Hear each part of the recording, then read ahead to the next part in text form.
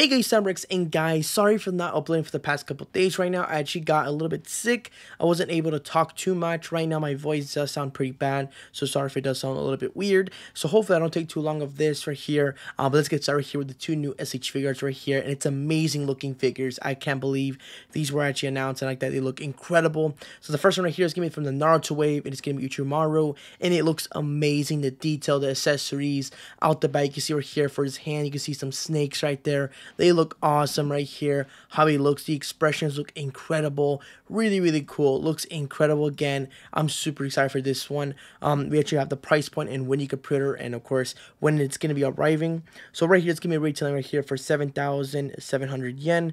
Around the US, that's around $54.74. So most likely around 60 to 70, most likely my guess for pricing for this one. And this right here is going to be available pre-order June 1st or most likely June 2nd. Usually is always like a day after for like here in, for of course Japan for US. So most likely it's to be that. And it's to be releasing uh, October of this year. So that's pretty exciting for that one. Amazing looking figure again. I can't wait for this one. And the best part is pretty cool actually is that you get a secondary portrait right here uh, for Sasuke right here. So that's really, really cool.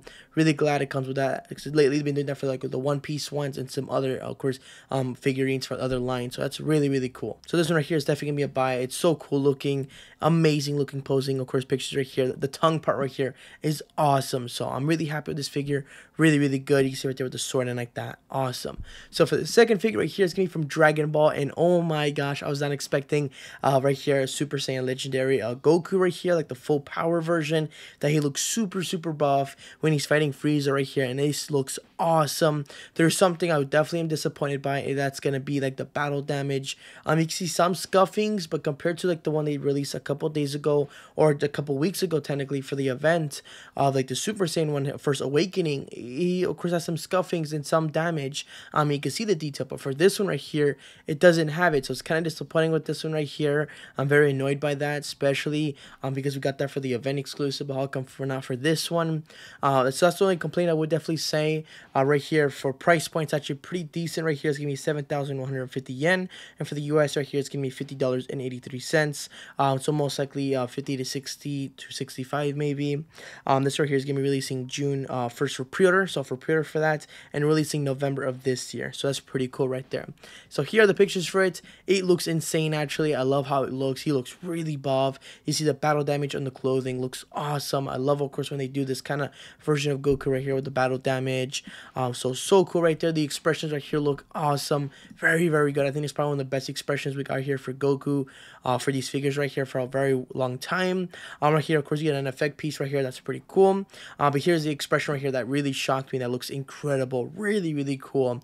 Love how that looks right there. And the pose right there is, again, really, really good too.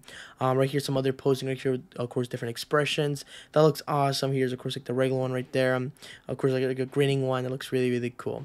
And right here is, of course, he has like a different hair piece right here. Of course, going uh, full, of course, power right there. And that looks so cool. So this one right here, I'm super excited for. I was not expecting this. Um, when, of course, we got a new like thing, I think it was a tease for, of course, a new figure.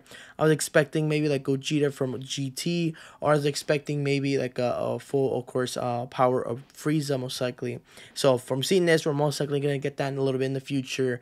Uh, hopefully that looks amazing. So, so far, really, really happy with this one. Can't wait for more updates. If there's any more figures from, of course, this line from SH Figures like that, I'll definitely let you guys know for sure. So far, really, really good from this line. Sorry, of course, again, if I sound weird. Uh, my voice is not that good right now. But that's everything there, guys. Tell me down your guys' opinion about this. If you guys going to pick up any of these, just tell me down below. Hope you guys enjoyed. See you next time. Bye.